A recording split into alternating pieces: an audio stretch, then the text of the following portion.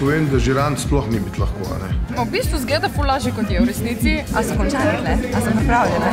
Začnem tako. Vzpostavim odnos med originalnim izvajalcem in med interpretom, ki bo to izvajal. Vidim, kje se lahko interpret približa temu izvajalcu in na kaj bo mogel biti pozoren. Skok! Ni dovolj, da samo poznaš pesem, ker moraš najti točno tiste zankice in, in stvari, ki jih boš dal podrobno gledati, kadar boš točko gledal. Ne?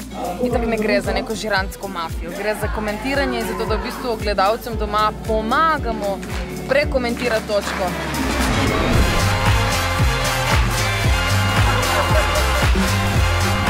Poglej mene zdaj in poglej, kaj še prizoroma mile. v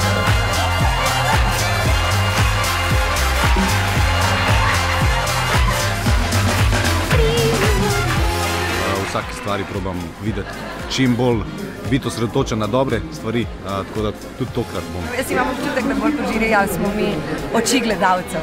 Oči gledalcev, ki spremljajo, uživajo, se nasmejejo in predvsem se zabavajo. Tako da hvala vsem nasupajočim, ki me gledajo zdaj z druge strani. Čau, čau, čau, čau, čau.